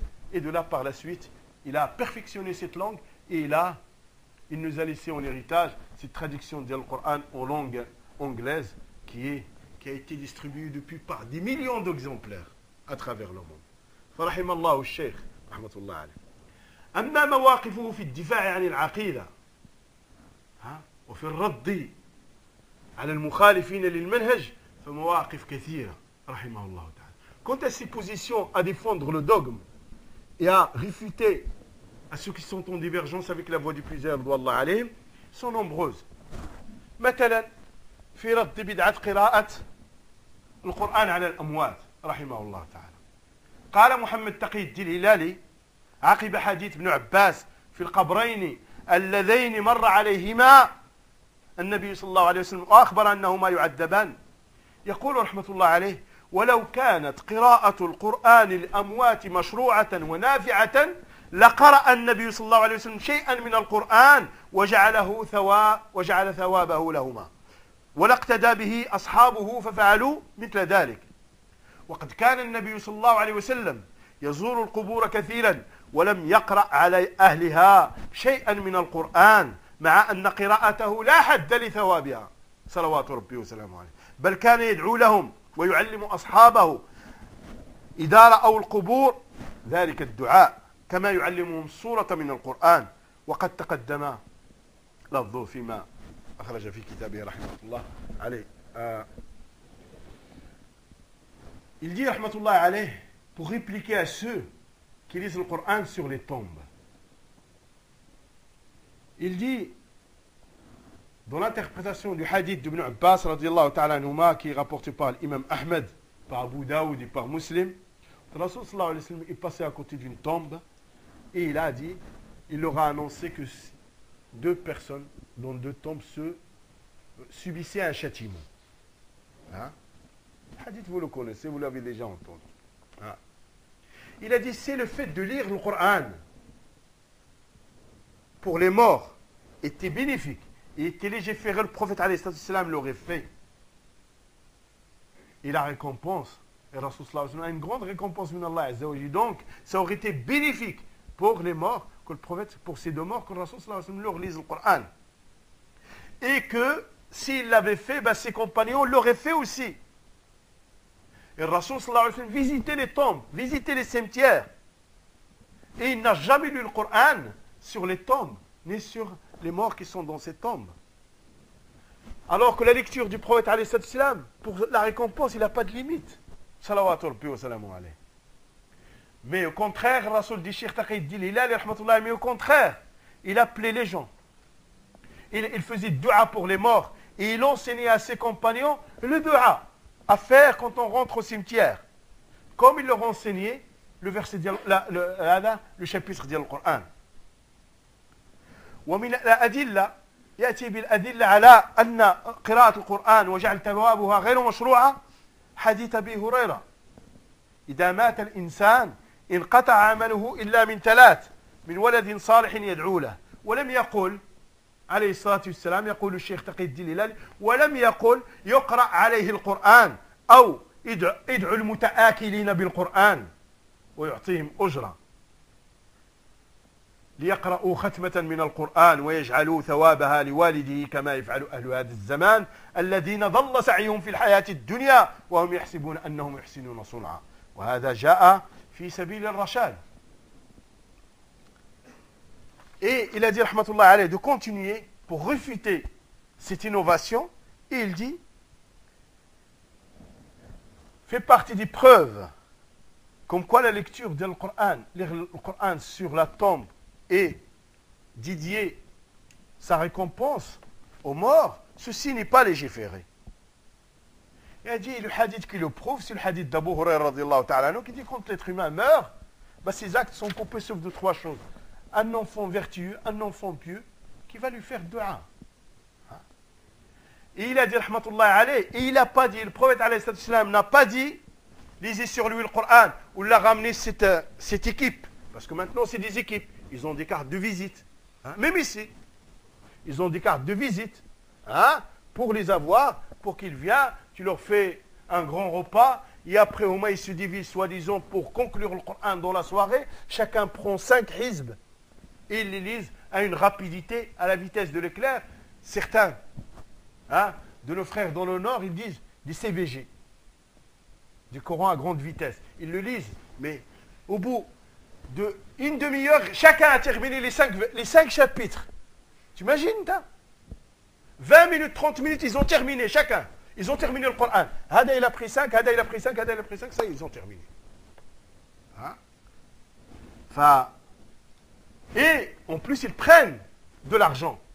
Attention maintenant, c'est pas selon. Là, il y a un tarif. Et après ça, il y a de dua. Et plus le billet est grand, plus la couleur est belle, plus il est fort, plus les chiffres sont de l'ordre de 3 et 1, bah plus le dua il est 1. Bah oui. Certains même en Égypte ont dit il ne faut pas vendre le Coran à vil prix. Certains muqri, réputés, on les convoque pour des mariages pour des trucs, et pour le huitième du Coran, ils prennent telle somme pour le quart du Coran, il faut le son, et ainsi de suite. Et là, quelqu'un l'a questionné, il lui a dit, ah, c'est qu'est-ce que tu fais? Il a dit, il ne faut pas vendre le Coran à vil prix. À ce point-là. Hein? Fa, Cheikh Rahmatullah alayhi refutait ça. Et ça, il le disait haut et fort dans un Maroc, à cette époque, où le bid'a avait pion sur rue. Hein? Avait pion sur rue il mettait sa vie en danger. Mais cela n'empêchait pas qu'il refutait dans ses écrits, dans ses cours, partout. Il disait que ça, ce n'est pas un acte à faire Ce n'est pas un acte qui est légiféré. Ce, cet acte, le fait de lire le Coran comme ça et de, hein, et de, de, de, ramener une équipe à lire le Coran pour le mort et leur faire un repas et les payer, etc., ne fait pas partie de la voie des plusieurs. Ainsi il était. وقال رحمه الله في رفض بعض البدع التي كان يعملها وكان ولا زالت في بعض المناطق في جنوب المغرب من عجائب ما يقع في المغرب وينسب إلى الإسلام والإسلام بريء منه شيء يسمونه بالفدية وهو شاهد شائع عند الجهلة. يدعو أولياء الميت جماعة من البطالين هكذا يسميهم رحمة الله عليه المحتالين ليعملوا لهم فدية للميت تنقذه من العذاب وتجعله من أهل الجنة. سبحان الله. فإذا كان قبره حفرة من النار ينقلب في الحين روضة من رياض الجنة بتلكم الفدية. أه؟ كيف عرفتم هذا؟ وذلك أن أولئك البطالين يذكرون لا إله إلا الله سبعين ألف مرة يتقاسمون العدد فيما بينهم. كل واحد بضعة آلاف فيطعمهم ذلك المسكين ويعطي كل واحد منهم شيئا من الدراهم يأكلها سحتا Et aussi, il fait partie des choses extraordinaires qu'il a vécues, qu'il a combattu, dans certains, dans le sud marocain et dans certaines régions de l'Est, etc., du royaume du Maroc, des choses que les gens font, qu'ils attribuent à l'islam, alors que l'islam est innocent de ce genre d'actes. Les ignorants font ce qu'on appelle la compensation. Les fidia. Hein? Ils appellent, la, la famille d'un mort appelle certains faussaires. Parmi ceux ou ceux qui disent qu'ils sont. Certains, c'est souvent des, des groupes d'Yal qui s'habillent d'une façon modeste, etc.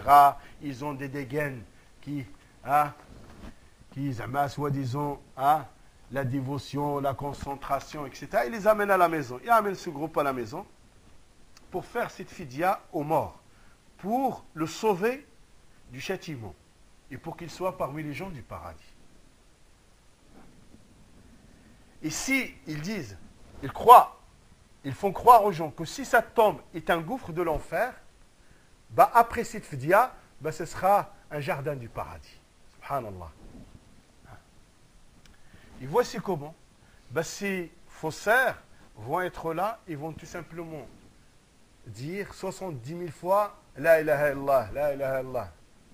À la fin, ils n'arrivent plus à dire La ilaha illallah. Après, tu ne fais plus la différence entre le chien de la voisine et leur voix. Hein? Ils se divisent 70 000 entre eux. Hein? Je ne sais pas comment ils n'arrivent pas à attraper les tortoculis. Hein? Et en plus de ça, ils prennent de l'argent et ils mangent tout ça. Hein?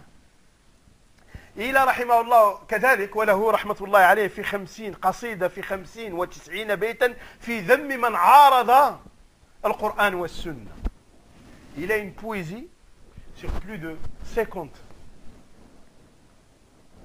95 vers, fait de blâmer et de refuter à ceux qui, qui s'opposent au livre d'Allah et l'authentique de la sunna de Muhammad et dans lequel il appelle au fait de faire revivre la sunna et de mettre en application la parole d'Allah l'authentique de la sunna du prophète يقول رحمة الله عليه في بعضها ومن يقل سنات الرسول فإنه يعذب في الدنيا وفي فتنة القبر ويسأله فيه نكير ومنكر وما من جواب عنده غير لا أدري ودي سنة الجبار في كل من غدا يحارب دين الله في السر, في السر والجار Il dit dans certains passages, et celui qui met de côté la sunna du messager, ben il va être châtié dans ce bas monde et dans la tombe. Et Nakir ou Amonkar vont lui poser des questions, il n'aura pas de réponse dans la tombe sauf je ne sais pas. Hein? Et ça, il dit ça, c'est la sunna d'Allah pour tous ceux qui combattent la religion d'Allah Azzawajal, hein, que ce soit en public ou là en privé.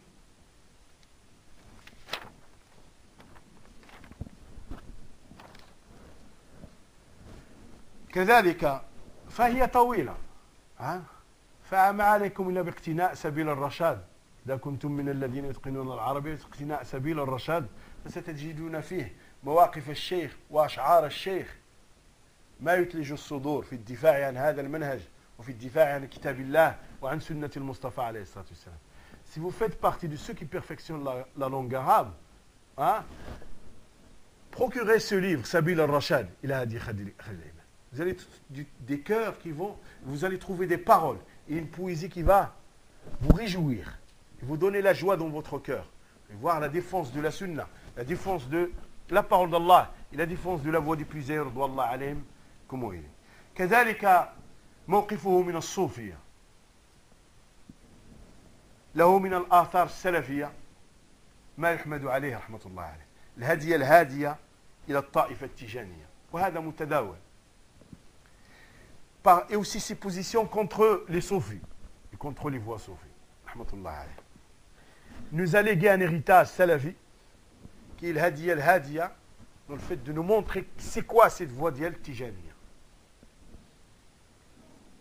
قال فيه رحمه الله اعلم أن التجانيين رووا عن شيخهم فضائل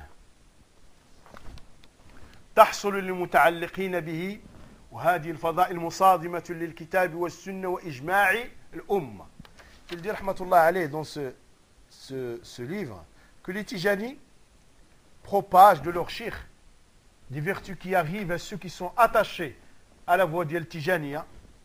Et ces vertus sont en contradiction avec la parole d'Allah Azzawajal, l'authentique de la sunna de Mohammed et le consensus de la communauté. ويقول رحمة الله عليهم ويزعمون أن الشيخ تيجاني كتب تلك الفضائل بيده وسلمها إلى النبي صلى الله عليه وآله وسلم وطلب منه أن يقرأها ويضمنها ويضمنها له فقرأها رسول الله صلى الله عليه وسلم وضمنها له كذب افتراء على الله وعلى رسول الله صلى الله عليه وسلم. وقع ذلك يقظة. كيف وقع يقظة؟ لا مناما انظر. وهذا يقرأه في صفحة 44 من الجزء الثاني من الرماح. ولا ت... لا تقرأ الرماح لا تحتاج إليها. خرابيط على خرابيط. هذا من المعتمد عند تيجاني. فهذه خرابيط كيف تضيع وقتك معها؟ Et ils ont prétendu que Tijani, leur cheikh, a écrit ses vertus. Et lui-même, il les a données directement au prophète salam en éveil. Pas en, pas en rêve, mais en éveil. Il les a donnés au prophète salam. Il a demandé au prophète salam de les lire et de lui garantir ce qu'il y a dedans. Et le prophète les a lus, il a garanti ce qu'il y a dedans comme vertu. Mon sens sur le prophète salam. Ils disent que ça, ça s'est passé en éveil Que Tijani a vu le prophète en éveil. Et qu'il lui a fait lire ce qu'il a écrit. Billah. Et ceci est rapporté dans leur recueil principal, qui est leur Sahih al-Bukhari al-Rimah. وهذه الفضائل زعموا أن الله يعطيهم إياها بسبب تعلقهم بشيخهم. Et ces vertus ils prétendent, les Tijani prétendent que Allah subhanahu wa ta'ala leur, leur, donne. tout simplement parce qu'ils sont attachés à leur shir. Regardez. Les plusieurs d'Allah alim nous attachent au livre d'Allah et à l'authentique de la sunna de salam avec la compréhension du puzaïl. Haoula, ils attachent les gens à leur shir. Ah non. Hein? Et Shir va nous citer certaines de ces énormités. يقول في الفضيلة الأولى أن النبي صلى الله عليه وسلم ضمن لهم أن يموتوا على الإيمان والإسلام كيف؟ متى هذا؟ متى كان؟ La première vertu, c'est que dans ce qui est ce qu'a écrit Tijani, la première vertu, c'est qu'il garantit au Tijani de mourir sur la foi et sur l'islam. Quand Comment hein? Rasul il est mort. C'est fini. Hein? Comment on peut gober ce genre d'énormité? Hein? C'est ça qu'il a dit, vrai celui qui a dit, hein est-ce qu'il y a un marché de raisons pour acheter des raisons à cela Parce qu'ils n'en ont pas. Allah subhanahu wa ta'ala dit, wa innahum. Allah subhanahu wa ta'ala dit de notre prophète tu mourras, ils mourront. Et Adallas, après, plusieurs siècles, plusieurs milliers de siècles après, mille, hein, mille ans après, hein, dix siècles après et plus. Là, là, il leur garantit qu'ils vont mourir sur la foi et sur l'islam. كذلك الفضيلة الثانية أن يخفف الله عنهم سكرات الموت. La deuxième vertu, c'est que s'ils sont adeptes d'Yeltijania, bah, ils vont, ils vont pas subir les douleurs de la ils vont, les douleurs de la mort vont être allégées pour eux. Subhanallah. Et Rasul nous a enseigné que ceux qui vont, hein, les prophètes ont subi les plus, hein, les plus grandes douleurs de la sakarat les douleurs de la mort. Hein, au moment de l'agonie, au moment où l'âme va sortir. Et là, ça va être allégé pour eux. كذلك أنهم لا يرون في قبورهم إلا ما يسرهم كيف qu'ils vont voir dans leur tombe que ce qui les réjouit. Comment hein C'est quelque chose de l'invisible. Comment on peut, ils peuvent savoir Comment on peut gober ces énormités كذلك أن يؤمنهم الله تعالى من جميع أنواع عذابه وتخويفه وجميع الشرور من الموت إلى المستقر في الجنة garantie الجنة عندهم donc Allah subhanahu wa ta'ala va les préserver de toute forme de châtiment ils vont pas avoir peur aucun mal de leur mort jusqu'à s'installer au paradis direct garantie subhanallah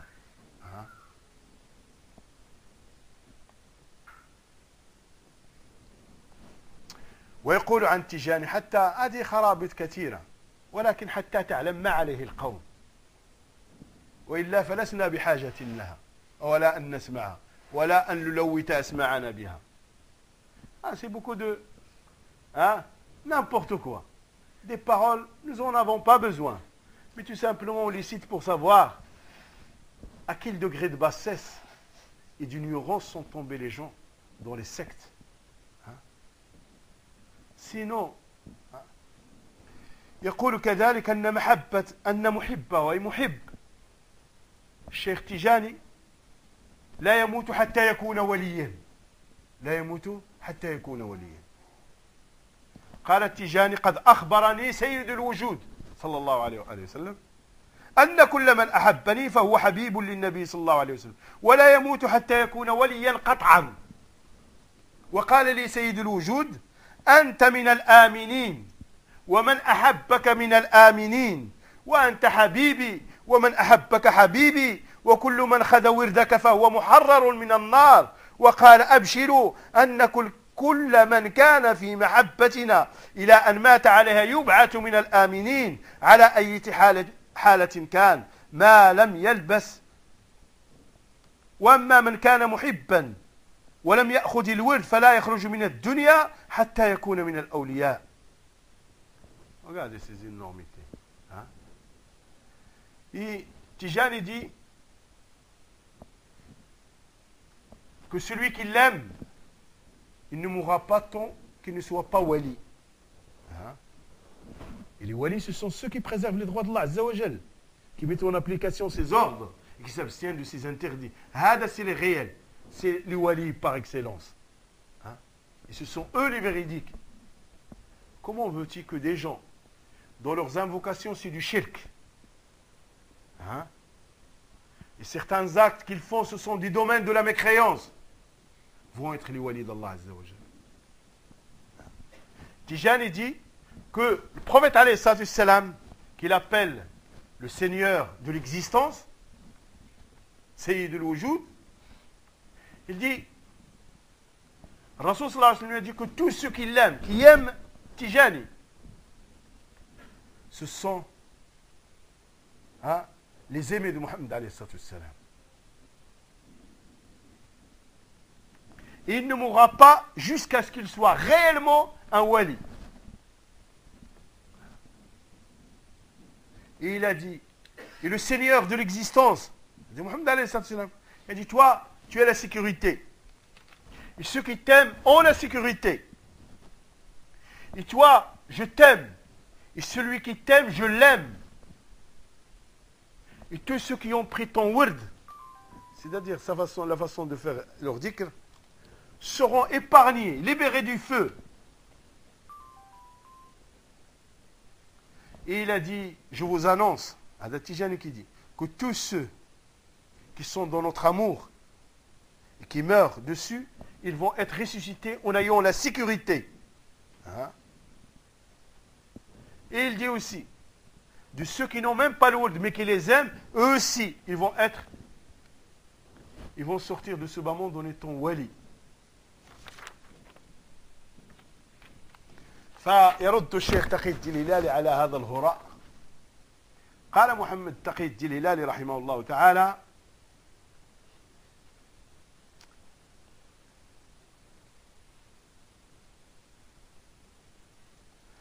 اعلم أيها القارئ الموفق لمعرفة الحق واتباعه مع من كان وحيث كان أن ما ذكره صاحب الرماح من الفضائل بزعمه له ولإخوانه في الطريقة ولشيخهم بزعمهم مردود من وجوه بعضها إجمالي وبعضها تفصيلي. ويقول ولنبدأ بالإجمال كل ما نسبوه إلى النبي صلى الله عليه وسلم من الأخبار هو من شر أقسام الموضوع المفترى وقد خاب من افترى لأنه في الكتاب أتوا بأحاديث موضوعة عن الرسول صلى الله عليه وسلم. فإن الأمة بعلمائها وأئمتها من أبي بكر الصديق رضي الله عنه إلى أن تقوم الساعة أجمعت الأمة على أنه لا طريق لتلقي خبر من الأخبار عن النبي صلى الله عليه وسلم إلا بالسماع والمشاهدة في حياته الدنيوية أو بواسطة الثقات الأثبات بالسند المتصل. وما ذكروه من الأخبار ليس له سندا أصلا وما زعموه من السماع كذب بإجماع الأئمة. ومن خرق إجماعهم والله الله ما تولى وأصلاه جهنم وكان مشاقا لله للرسول صلى الله عليه وسلم ومتبعا غير سبيل المؤمنين. ومن ذلك أن تلك الأخبار مناقضة لكتاب الله وللأخبار الصحيحة المروية بأسانيد كالشمس معلومة التواتر أو الصحة العالية. إذا قرأت ما تقدم من الرد تبين لك من خلاله فساد تلك الأخبار وبطلانها واضمحلالها الشيخ تقي الدين الهلالي دون الهدية الهادية إلى الطريقة الجندي ساش ها toi qui lis, qui lis son, son, son livre, qu'Allah subhanahu wa ta'ala a accompli de connaître la vérité et de suivre la vérité avec qui il est cité. Peu importe celui hein, que tu suis dans cette vérité, celui avec qui il est la vérité, que ce qu'a cité celui qui a écrit Rimah des vertus et ce qu'ils ont prétendu pour leurs adeptes dans cette voie et pour leurs shir, pour Tijani, ce qu'ils ont il est réfuté, il est rejeté. Hein, globalement et particulièrement. Et que tout ce qu'ils ont attribué au prophète salam parmi les annonces qu'ils ont annoncées, ça fait partie des pires inventions sur le, le prophète salam. Et il ne réussira pas celui qui a inventé des choses sur le prophète. Car la communauté, ce soit les savants, ces imams, Abu Bakr Siddiq jusqu'à la fin des temps, jusqu'à la résurrection, sont unanimes qu'il n'y a pas une autre voie d'apprendre des choses du prophète sauf en l'ayant écouté de lui directement, durant sa vie.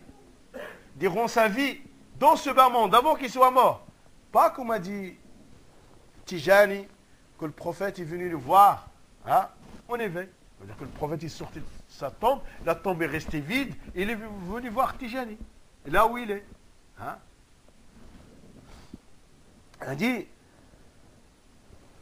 soit ah, donc, les annonces que nous avons du prophète, soit les gens ont écouté ceux qui ont vécu avec le prophète, l'ont écouté directement du prophète, ou l'ont reçu de ceux qui l'ont transmis du prophète, ceux qui l'ont transmis, les dignes qui l'ont transmis, et les hommes de confiance qui ont transmis, par des chaînes de, chaînes de transmission liées l'une à l'autre, dans laquelle il n'y a pas de faille. Hein?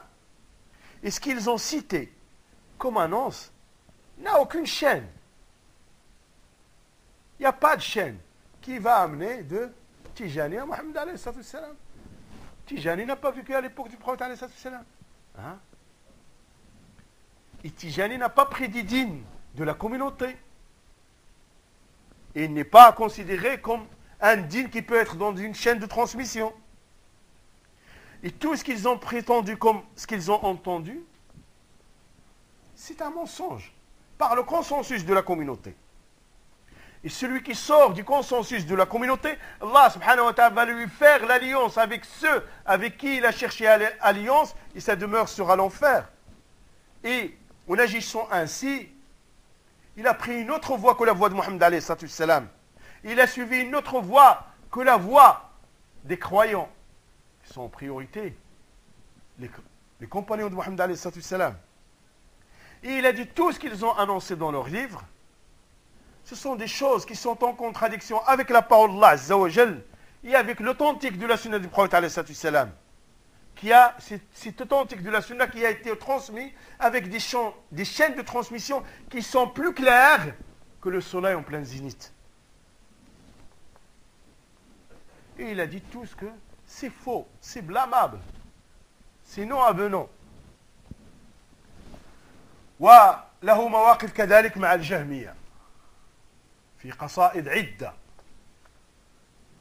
قال محمد تقي الجليلاني رحمه الله لقد من الله علي وعانني على ختم هذا القسم وأسأله بأسماء الحسنى وصفاته العليا وبمحبتنا واتباعه واتباعنا لخليله محمد رسول الله صلى الله عليه وسلم أن يعينني على القسم الثالث ويجعل هذا العمل خالصا لوجهه الكريم. ولما كنت أنقل كلام الأئمة كنت أمر بأشعار في الرد على المقلدين وذم طريقتهم ومدح اتباع الكتاب والسنة فرأيت أن أؤخرها وأجعلها خاتمة لهذا القسم يستمتع بها من حبب الله له الاتباع وكره إليه التقليد. وهذه هي أول ما أبدأ به القصيدة المقصورة. نظمتها في مصر سنة 41 و300 وألف للهجرة. وهذا في المجلد الرابع من سبيل الرشاد. Il avait des positions aussi contre toute forme d'innovation, contre les jahmites. Hein. Tu ne peux pas croire que toutes ces sectes ne sont plus là. Il y en a encore. Et parmi nos contemporains, et parmi les intellectuels de certains groupes, hein, prenez une tête, une plume, une plume, au Koweït. Dans une revue qu'ils appellent la revue de la société musulmane. Ils auraient dû, s'ils étaient véridiques avec Allah, ils auraient dû marquer la revue de la secte des frères musulmans. Là, ils auraient été véridiques dans l'appellation. Et Hada, qui fait partie de l'éditorial, comment on l'appelle, le chef de l'édition? Le rédacteur en chef, il dit Je ne sais pas comment confirmer la main à Allah.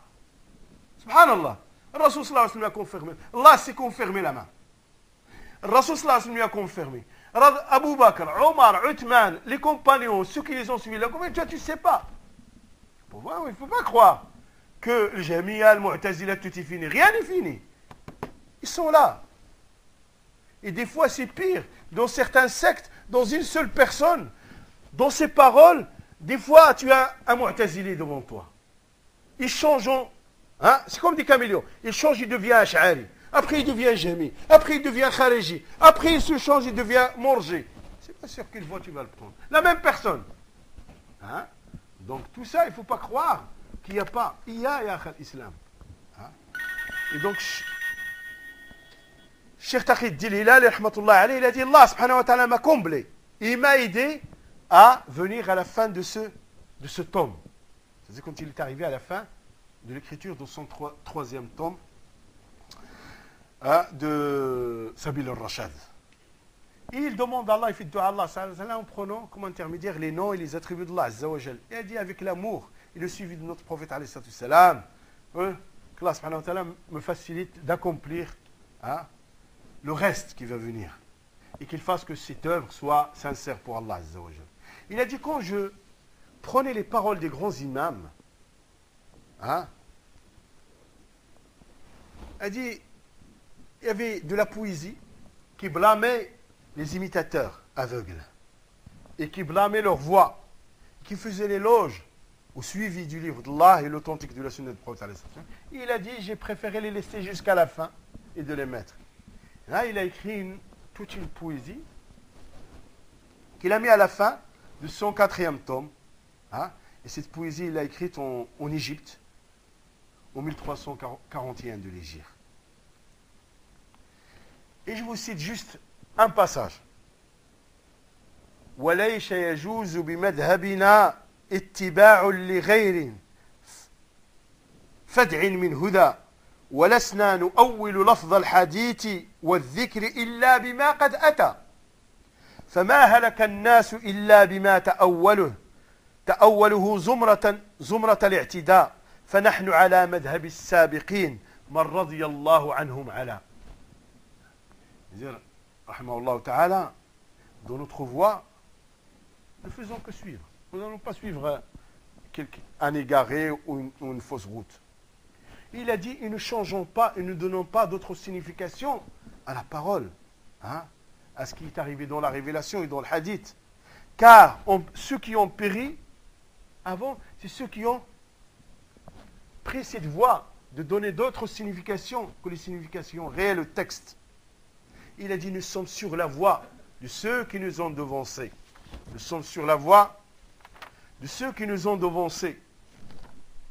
Il dit, ومن حاد عن نهجهم فقد هوى سواء درى ذاك أم ما درى فخير الهدى هدي خير الورى وشر الأمور اتباع الهوى Et celui qui dévie de leur voie, c'est qu'il est tombé.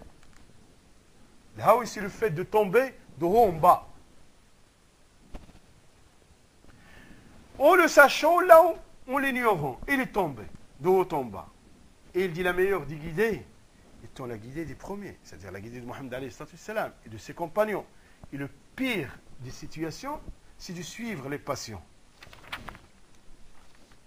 وله كلام طويل في هذه القصيدة يرد فيها على المؤولة وعلى الجهمية وعلى الرافضين للسنة وله كلام كثير كذلك في دم أهل الكلام دع الكلام فما فيه سوى الخطل وانبذ مجالسة مجالسه تحفظ من العلل من العلل فهو شر شر ابتداع جاء بالخلل وخل وخل سمعك عن بلوى أخي جدل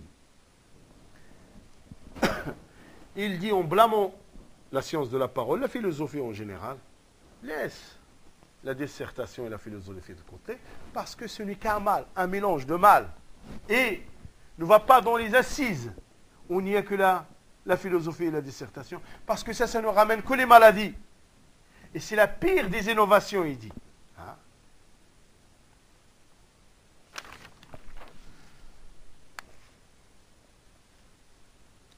وقال رحمه الله تعالى وفي الصحيح في حديث الجارية قال رحمة الله عليه ونختم بهذا إن شاء الله. في هذا الحديث يعني حديث الجارية السؤال عن الله تعالى. أين؟ قال ومنعه الخوارج وسائر الفرق المعطلة كالمعتزلة والمتأخرين من الأشعرية وزعموا أن من سأل عن الله بأين فهو مجسم واختلفوا في في كفره وفسقه ومعصيته. فيلزمهم نسبة ذلك إلى نبي الله عز وجل الذي جاءنا بالإيمان فقبح الله علما يفضي إلى مثل هذا. وفيه إقرار النبي صلى الله عليه وسلم بأن الله سبحانه وتعالى في السماء وأنكرته المعطلة واختلفوا في كفر معتقده. فيا ويلهم ماذا جنوا على أنفسهم بسبب جهلهم وعمى بصائرهم. فنعوذ بالله من الخذلان. إلدي رحمة الله عليه. quand il a interprété le hadith, où Allah sallallahu alayhi wa sallam posé la question à la servante, où il est Allah, avec Aina, Aina Allah, il a dit ce hadith, les Khawarij l'ont interdit. Et tous les groupes de l'égarement, ceux qui dépouillent les sens, comme le Mu'tazila et comme les derniers par l'Asha'ira, hein, ils ont prétendu que le fait de poser la question où il est Allah, c'est donner un corps à Allah Azzawajal ils ont été en divergence dans le fait de le rendre mécréant ou la pervers etc. Il dit, cela implique qu'ils doivent attribuer ça au prophète salam. La perversité, la mécréance, etc., dans laquelle ils ont divergé. Cela implique, en agissant ainsi, qu'il attribue ça au prophète salam. Le prophète salam a dit, nous avons enseigné que Allah est au-dessus du ciel. Et il a posé cette question à cette servante. Et il a dit, Allah subhanahu wa ta'ala blâme une science qui amène à ce point-là, qui amène à mettre de côté la parole du prophète à dupuer de son sens la parole du prophète Et ça, c'est l'approbation du prophète comme quoi Allah est au-dessus des cieux. Hein? Et le mu'attila ne l'ont pas reconnu. ils ont été en divergence dans la mécréance de celui qui le croit. Il dit malheur à eux. Qu'est-ce qu'ils ont commis comme crime sur eux-mêmes, à cause de leur ignorance, à cause de leur aveuglement. فنسأل الله لنا ولكم السلامة والعافية.